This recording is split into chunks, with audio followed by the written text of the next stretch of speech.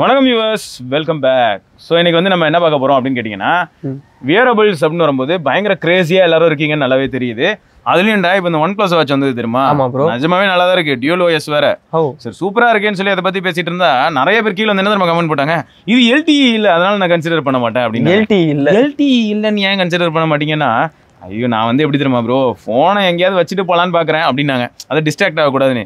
என் மைண்டில் என்ன தோணுச்சுன்னா இதுக்குள்ள பெரிய டிஸ்ட்ராக்ஷனே பார்த்தீங்கன்னா ஃபோனில் இருக்கிற சிம் அந்த சிம் ஆக்டிவாக இருந்து அதுலேயும் நெட் ஆன் ஆக்டிவாக இருந்ததுன்னா ஏகப்பட்ட நோட்டிஃபிகேஷன் வரும்.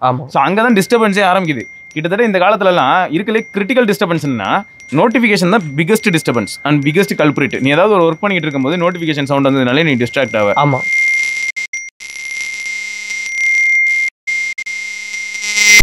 போஸ் போஸ் நாய்க்குட்டியோட வணக்கம் வியூவர்ஸ் சரியான ஃபீல் பார்க்கலாமா? ஹலோ ஹலோ ஹலோ லோ சரி வாட்ச் அதில் எல்டி நீங்கள் கேட்டீங்க. இதுக்கு முன்னாடி நம்ம ஃபோன்ஸ் பற்றி பேசும்போதே சார் வேல்யூ பற்றி நிறைய பேசியிருப்போம். எமிஷன் இருக்குமா ப்ரோ ரேடியேஷன் இருக்குமா ப்ரோ இதனால எனக்கு எதுவும் ஆயிடாதே? பிரெயினுக்கு எதுவும் ஆயிடாதே? அந்த மாதிரியான கேள்விலாம் கேட்பாங்க. ஆனால் இப்போ எப்பயுமே கையில் வியர் பண்ணியிருக்கக்கூடிய ஒரு விஷயத்தில் இதுலயே சிம் கார்டு அப்படியே அது இ சிம் சிம் கார்டு இருக்குன்னும் போது அப்போ அதுலயும் ஃபார் ஷோர் ரேடியேஷன் இருக்க தானே செய்யணும்? ஆமா. அந்த டேட்டாலாம் அப்ளை ஆகும்போது? கரெக்ட் ஸோ அது ரிலேட்டடாக தான் நீ டேட்டா பார்த்துட்டு வந்திருக்கு கரெக்டா ஆமா ப்ரோ ஸோ அந்த டேட்டாஸ் எல்லாத்தையும் அப்படியே நம்ம மனோஜ் இப்போ ஷேர் பண்ண போகிறோம் அதை அப்படி தொடர்ந்து பார்க்கலாம். ஓகே ப்ரோ நான் ஃபர்ஸ்ட் அனலைஸ் பண்ணும்போது தான் ஸ்மார்ட் வாட்சஸ் ரேடியேஷன் எமிட் பண்ணுமான்னு பார்த்தேன். ஸோ அதுல வந்து ரேடியேஷன்ல ரெண்டு டைப் ரேடியேஷன் இருக்கு. ஓ ரெண்டு. ஆமா.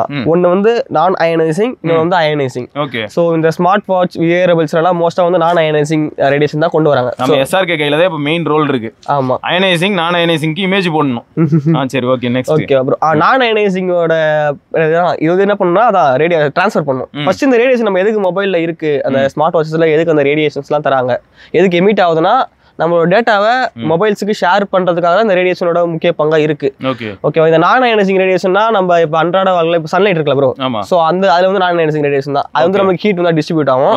ஸோ அதே மாதிரி வந்து மைக்ரோவேவ் ஸோ ரேடியோ வேவ் இப்போ நம்ம வாட்ச் ஸ்மார்ட் ஃபோன்ஸ்லாம் மோஸ்ட்டாக ரேடியோ வேவ் தான் இருக்கு பார்த்தீங்களா ஸோ அதில் வந்து நமக்கு வந்து ஹீட் மட்டும் தான் ப்ரொடியூஸ் ஆகுமே தவிர அப்புறம் வந்து இந்த டேட்டா ட்ரான்ஸ்ஃபர்ஸ் ப்ளூடூத் அந்த ஒய்ஃபை மூலமா டேட்டா ட்ரான்ஸ்ஃபர் ஆகும்ல. ஸோ இதுக்கு மட்டும் தான் இந்த ரேடியேஷன் யூஸ் ஆகுது. ஸோ இது வந்து ஏதாச்சும் ஒரு அசார்டை கிரியேட் பண்ணுமா? ஏதாச்சும் ஒரு எஃபெக்ட் தருமான்னு கேட்டிங்கன்னா நான் மோஸ்ட்டாக ரிசர்ச் பண்ண பார்க்கும்போது எதுவுமே இப்போதைக்கு நெக்லிஜிபிள் ஆமா. ஆ, நான் அது அயனைசிங் சொன்னல ப்ரோ அதுல வந்து alpha wave beta wave X-ray so இதுல வந்து ஹை எமிஷிங் அது ரேடியேஷன் ஸோ இதுல வந்து நம்மளுக்கு வந்து நிறைய ஹெல்த் அசார்ட் இருக்கும் ஆமா. ஸோ ஓகே ஸோ அப்போ இந்த ரெண்டு ரேடியேஷன்ஸ் இருக்கு. ஸோ நான் அயனைசிங் தான் இருக்கு. இப்போ நம்ம ஃபியூச்சர் லாங் டேர்ம்ல போகும்போது ஏதாச்சும் அஃபெக்ட் இருக்குமா? டெஃபினெட்லி ஏன்னா இப்போதைக்கு எந்த ரிசர்ச் பேப்பர்ல எதுவுமே இல்லைன்னு சொல்றாங்க. ஆமா அப்சர்வ் பண்ணிருப்பாங்க. மேபி எலியை வச்சு டெஸ்ட் பண்ணும்போது எலி கொஞ்சம் சூதானமா நடந்திருக்கும் போல. ஆஹ் எலியோட நம்ம மோசங்கிறது அவங்களுக்கு தெரியல. வந்தாரு என்ன பார்த்தாரு போட்ட அடிக்க ஆரம்பிச்சாரு. கேக்குறது காலையில நினைச்சு அடிக்க ஆரம்பிச்சாரு. என்ன நினைச்சாரோ யாருக்கு தெரியும்? அதனால நம்ம பார்க்கலாம். உண்மையை சொல்ல போனா இது வந்து ஒரு கொஸ்டின்ங்க வேற எதுவும் இல்லை. இப்போ நம்ம ஃபோனில் வந்து சார்வேலி பற்றி எவ்வளோ தூரம் ஆமா. பேசியிருக்கோம் சம்டைம்ஸ் வந்து நம்ம மக்களே ஒரு சில ஃபோன்ஸில் என்ன சொல்லுவாங்கன்னா ரொம்ப நேரம் ஃபோன் பேசினா தலைவலிக்குதுன்னு சொல்லுவாங்க. அதுவும் காதில் டேரெக்டாக ஃபோன் வச்சு பேசும்போது கொஞ்சம் தலைவலிக்கிற மாதிரி இருக்கு ப்ரோன்னு சொல்லுவாங்க. அப்புறம் ஃபோன் வந்து ஹீட் ஆகிறத ஃபீல் பண்ண முடியும். இயர்பீஸ் ஹீட் ஆகிறத ஃபீல் பண்ண முடியும். இப்போயோட முன்னெல்லாம் ரொம்ப கொஞ்சம் கொடூரமாக தான் இருந்தது. இப்போ இருக்கிற ஃபோன்ஸ் ஓரளவுக்கு பரவாயில்லன்னு சொல்லலாம். ஹீட்டிங் இஷ்யூ டேரக்டா ஃபோன் பேசுறதுக்கே கூட. காதுல வச்சு இப்படி டேரக்டா ஃபோன் பேசினா ஒரு நாற்பது நிமிஷம் பேசினாலும் கூட இப்போ இருக்கிற ஃபோன்ஸ்லாம் அவ்வளோ ஈஸியாக ஹீட் ஆக மாட்டேங்குது. அது ஒரு வகையில் நல்ல விஷயம்.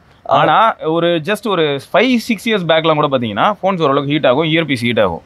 அதை நான் நல்லாவே எக்ஸ்பீரியன்ஸ் பண்ணியிருக்கேன் ஸோ அந்த டைம்ல வந்து நமக்கு டிஸ்டர்ப்டாகவும் ஃபீல் ஆகும். அப்படியே வேர்த்தும் ஊற்றும் ஒரு மாதிரி டிஸ்டர்ப்டாக இருக்கும். ஸோ. அந்த டைம்ல இப்போ சார் வேல்யூங்கிறதும் பார்த்தீங்கன்னா ரொம்ப சப்ஜெக்டிவான ஒரு விஷயம் தான். ஏன்னா மேக்ஸிமம் ரேடியேஷனு ஏதோ ஒரு பர்டிகுலர் பாயிண்ட் அந்த ஃபோனில் கேப்சர் ஆனது தான் அது. எந்த இடத்துல இருந்தாலும் நமக்கு தெரியாது. அது போர்ட்டு கிட்டயா இல்லாட்டி வந்து ஏதாவது ஆண்டனா கட் அவுட் கிட்டயா எங்க இருந்து அந்த ரேடியேஷனை கேப்சர் பண்ணாங்கன்னு நமக்கு தெரியாது. இன்னொன்று என்னன்னா அதே கைண்ட் ஆஃப் ஸ்கோர் தான் அதே மாடல் ஆஃப் இன்னொரு ஃபோன் இருக்கும் இல்லையா? அதுல அதே பொசிஷன்ல இருந்து வரணும்னு அவசியம் கிடையாது. அதுல வேற எங்கேயாவது வந்திருக்கும். ப்ளஸ் இப்போ ஒரு ஃபோனை வந்து அவங்க பாயிண்ட் நைன் அப்படின்னு சொல்லி ரேட் பண்றாங்கன்னு வையன் ஹெச்ஆர் வேல்யூன்னு அந்த பாயிண்ட் நைனே தான் இந்த ஏ ஃபிஃப்டி ஃபோர்ல இருக்குன்னா இன்னொரு ஏ ஃபிஃப்டி ஃபோர்லயும் அதே பாயிண்ட் நைன் தான் இருக்குமானா நமக்கு தெரியாது. நிறைய லேப் கண்டிஷன்ஸ்ல நிறைய விஷயங்கள் மாறலாம். அதே மாதிரி இன்னொரு விஷயமும் நம்ம சொல்லியிருப்போம். புதுசாக இருக்கக்கூடிய ஒரு எலக்ட்ரானிக் கூடில் இருக்கக்கூடிய அந்த சர்க்கியூட்ஸ் எப்படி இருக்குது அஞ்சு வருஷம் கழிச்சு அந்த சர்க்கியூட்ஸ் எப்படி இருக்குது இதுக்கு முன்னாடி வந்து இந்த ரேடியேஷன்லேருந்து நம்மளை ப்ரொடெக்ட் பண்ணுறக்காக மேபி ஒரு சில லேயர்ஸ் அவங்க வச்சுருந்துருக்கலாம். இல்லாட்டி அதுக்குன்னு ஒரு சில ஒர்க் அவங்க உள்ள இன்டீரியராக பண்ணியிருக்கலாம் அது எல்லாமே வந்து இப்போ எப்படின்னா வாட்டர் ப்ரூஃப்னு எடுத்துக்கிட்டால் எல்லா இடத்துலையுமே ரப்பர் சீல்ஸ் வச்சிருப்பாங்க. ஆனால் ஓவர் த ரன் கொஞ்சம் நாள் கழிச்சு என்ன ஆகும்னா அந்த ரப்பர் டிகிரேட் ஆகி உனக்கு அந்த வாட்டர் ப்ரூஃப் அப்படிங்கிற கான்செப்டே கம்ப்ளீட்டாக எராடிகேட் ஆகிடும் அதுக்கப்புறம் லைட்டாக நம்ம தண்ணி வேர்வை எது பட்டாலுமே ஃபோன் காலி ஆயிடும். ஓகே வாட்டர் ப்ரூஃப் ஃபோன் தான். பட் அது ஒரு குறிப்பிட்ட டைமுக்கு அப்புறம் வியர் அண்ட் டயர்ல போயிடுது. அதே மாதிரி இன்கேஸ் இது வந்து ஒரு சப்ஜெக்ட்டுங்க இந்த சப்ஜெக்ட்டை பத்தி இன்வெஸ்டிகேட் பண்ணணும்னு ரொம்ப நாள் ஆசை. பட் இது இன்வெஸ்டிகேட் பண்ணணும்னா இதுக்கு ரிலவெண்டா யாராவது ரொம்ப பெரிய ஆள் இருந்தாங்கன்னா அவங்கள வச்சு நம்ம பண்ணலாம். எப்படின்னா ஒரு ஃபைவ் இயர் ஓல்டு ஃபோனில் இனிஷியலாக அவங்க க்ளைம் பண்ண சார் வேல்யூக்கும் இன்னைக்கு அந்த ஃபைவ் இயர் ஓல்டு ஃபோனில் சிம் போட்டு நம்ம யூஸ் பண்ணும்போது சார் வேல்யூ எவ்வளோ இருக்கு? அப்படிங்கிறது தெரிஞ்சுக்கணும்னு நினைக்கிறேன்.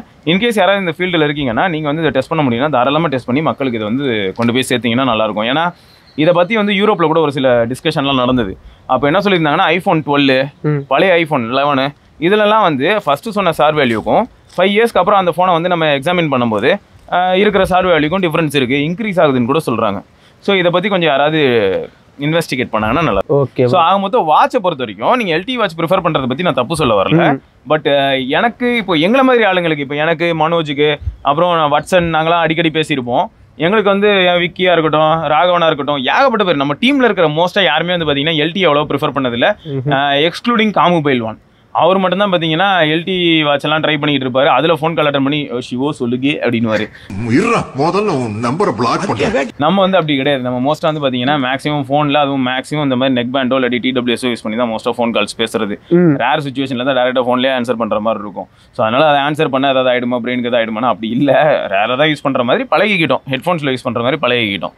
அண்ட் இந்த வாட்சை பொறுத்த வரைக்கும் பார்த்தீங்கன்னா மேக்ஸிமம் நாங்கள் அதை எங்கள் கேங் வந்து ஃபிட்னஸ்க்காக மட்டும் தான் அதை மேக்ஸிமம் யூஸ் பண்ணுறோம் ஆமா. ஃபோன் கால்ஸ்க்கு நாங்கள் ரொம்ப ரொம்ப ரேராக தான் யூஸ் பண்ணுறோம் இப்போ நீ இந்த வாட்ச் எதுக்கு யூஸ் பண்ணுற ஃபுல்லி ஃபிட்னஸ் தான். ஃபிட்னஸ்க்காக தான். அது மட்டும் இல்லாமல் அமேஸ் ஃபிட் ப்ராடக்ட்ஸ் பொறுத்த வரைக்கும் பார்த்தீங்கன்னா மேக்ஸிமம் ஃபிட்னஸ் ஓரியன்டாக தான் இருக்குமே தவிர ஸ்மார்ட் ஃபீச்சர்ஸ் ரொம்ப மினிமலாக தான் இருக்கும். அதுவே எனக்கு ஒரு வகையில் ரொம்ப பிடிச்சிருக்குன்னே சொல்லுவேன். ஆனா அக்யூரசி சூப்பரா இருக்கும். அக்யூரசி டேட்டா பிரசன்டேஷன் அருமையா இருக்கும். ஆமாம் ஜிப் ஆப்பில் உங்களுக்கு டேட்டா சூப்பராக இருக்கும். ஸோ ஆன் த ஹோல் வந்து நான் எல்டி ப்ரிஃபர் பண்ணுறவங்கள வந்து நான் குறை சொல்லணும்னு சொல்லலைங்க. பட் நம்ம வந்து ஒரு சில ரீசன்ஸ் கொடுக்கும்போது கடைசியில் என்ன ஆயிடுதுன்னா அது வந்து மீனிங்ஃபுல்லாக இல்லையோன்ற மாதிரியான ஒரு ஃபீல் வருது. ஈவன் சம்டைம்ஸ் வந்து நான் என்ன யோசிச்சிருக்கேன்னா ரன்னர்ஸ்லாம் நீங்கள் பார்த்துருக்கலாம். இந்த இடத்துல ஒரு பவுச் மாதிரி ஒன்று வச்சிருப்பாங்க. அதில் ஃபோனை மாட்டிப்பாங்க. அதுலேயே ஸ்ட்ராவாக ரன் ஆகும். ம். ஸோ இப்போ இந்த வாட்சுக்கும் அந்த ஃபோனுக்கும் வித்தியாசம் ஏதாவது இருக்கான்னு எனக்கு தோணுச்சு. அதாவது எல்டிஇ வாட்சுக்கும் சிம் கேப்பபிள் வாட்சுக்கும் இங்கே ஃபோனை வந்து ஆமில் மாட்டிட்டு போகிறதுக்கும் ஃபுல்லாக ஏதாவது டிஃப்ரென்ஸ் இருக்கா? அதை பார்க்க போனால் இது இன்னும் அக்யூரேட்டாக கேப்சர் பண்ணும். ஆமா. ஸ்டாவா ஃபோனில் இருக்கும்போது ஜிபிஎஸ்ஸாக இருக்கட்டும் வேறு ஏதாவது டேட்டாவாக இருக்கட்டும் இதில் இருக்கக்கூடிய பீடோமீட்டராக இருக்கட்டும் அதுவும் பெட்டராக தான் கேப்சர் பண்ணும். ஸோ அப்படி இருக்கும்போது அவங்க நிறைய பேர் வாட்சே யூஸ் பண்ண மாட்டாங்க. நிறையா இருக்குது depends upon the individual's preference so உங்ககிட்ட கேட்கலாம். இது வந்து எப்படி தெரியுமா? நாங்களும் ஒரு சில டேட்டா உங்களுக்கு கொடுக்குறோம். அண்ட் பார்த்துட்டு இருக்க நீங்களும் ஒரு சில டேட்டாவை கமெண்ட் செக்ஷனில் போட்டிங்கன்னா அதை பார்த்து இன்னும் ஒரு சில விஷயங்கள் நாங்களே இன்வெஸ்டிகேட் பண்ணி தெரிஞ்சுப்போம். ஆமா. அதுக்கப்புறம் இன்னொன்று ப்ரோ இப்போ ஃபர்ஸ்ட் டைம் வாட்ச் வேர் பண்றவங்களுக்கு ஹெட் ஏக் அது மாதிரிலாம் நடந்துச்சுன்னு சொன்னாங்க. ஆ ஆம் பெயின் கூட நான் பார்த்துருக்கேன். இந்த SP O two type of watch வந்தது இல்லையா. அது இன்ட்ரடியூஸ் ஆனதும் ஒரு சிலர் என்ன சொன்னாங்கன்னா ரிஸ்ட் வந்து எனக்கு கொஞ்சம் இச்சி ஃபீல் ரெண்டாவது என்னன்னா கை வலிக்க ஆரம்பிச்சிருச்சுன்னு சொல்லி நான் கேள்விப்பட்டேன். கை ஷோல்டர் கிட்ட எல்லாம் பெயின் ஆகுது அப்படின்னு. இதை பத்தி நீங்க வந்து சும்மா நெட்ல போட்டு பாருங்களேன். After wearing watch I experience hand pain அப்படின்னு சும்மா போட்டு பாருங்க. Hand pain due to smart watch அப்படின்லாம் போட்டு பாருங்க. இந்த டேகுக்கு வந்து நிறைய உங்களுக்கு போஸ்ட் நீங்க பார்க்கலாம். வயசானவங்களும் சொல்லியிருப்பாங்க. சின்ன வயசு பசங்களும் சொல்லியிருப்பாங்க. எனக்கு செட்டே ஆகலை எனக்கு கை வலிக்க ஆரம்பிச்சிருச்சு. குடைச்சல் அதாவது சொல்லுவாங்க தெரியுமா கையெல்லாம் கொடை அந்த போன்லாம் குடையிற மாதிரி இருக்குன்னு. அந்த மாதிரியான சிம்டம்ஸ் ஃபீல் ஆச்சுன்னு சொன்னாங்க. அவங்களும் மேக்ஸிமம் இந்த வாட்சை விட்டுட்டு பழைய வாட்ச் வெறும் ஹார்ட் ரேட் இருக்குல்ல அதுக்கு போனதும் அவங்களுக்கு அந்த ஃபீல் இல்லை. எஸ்பிஓடி சென்சார் இருக்கிறது அவங்களுக்கு ஒத்துக்கல. ஓகே இது ஒன்று இருக்கு. இந்த மாதிரி ஸ்பெசிஃபிக்காக ஒரு சில விஷயங்கள் இருக்குது ஸோ இந்த வீடியோ பார்க்குற யாருக்காவது அந்த மாதிரி இருந்தாலும் நீங்கள் மறக்காம சொல்லலாம்.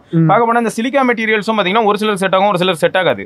மாட்டின கொஞ்ச நாள்லயே என்ன வேணா கையெல்லாம் வந்து ஏதோ ஒரு பூச்சி கடிச்ச மாதிரி அங்கங்க தடுப்பு தடுப்பா தடுப்பு தடுப்பா சவுப் சப்பா வந்துடும் வாட்ச் மாட்டின இடம் மட்டும் அலர்ஜிக்கா. ஸோ அதுவும் கூட இருக்கு. இந்த மாதிரி நிறைய விஷயங்கள் இருக்கு. அப்படி ஏதாவது நீங்க எக்ஸ்பீரியன்ஸ் பண்ணியிருந்தாலும் கீழே கமெண்ட்ல சொல்லுங்க. ப்ளஸ் வேற ஏதாவது ஒரு டாபிக் மனோஜ் வந்து இன்வெஸ்டிகேட் பண்ணா அவன் ஏதாவது கொஞ்சம் செக் பண்ணிட்டு வந்து அடுத்த வீடியோல அதை ஷேர் பண்ணா நல்லா இருக்கும்னு உங்களுக்கு தோணுச்சுன்னா மனோஜுக்கு ஏதாவது டாபிக் நீங்க சஜஸ்ட் பண்ணலாம். ஸோ அதையும் நாங்கள் செக் பண்ணிட்டு அதை நாங்கள் அட்ரஸ் பண்ணுவோம் ஃபியூச்சர் வீடியோவில் ஸோ வேற ஏதாவது இருக்காடா சொல். டன் ப்ரோ டன்னா ஸோ டன் அண்ட் டஸ்ட் இருங்க ஓகேங்க ஸோ இதோட நம்ம இன்னொரு பதிவில் சந்திப்பா இருக்கும் சிவபரணி. நான் உங்கள் மனோஜ். பார்க்கலாம். பாய் பாய்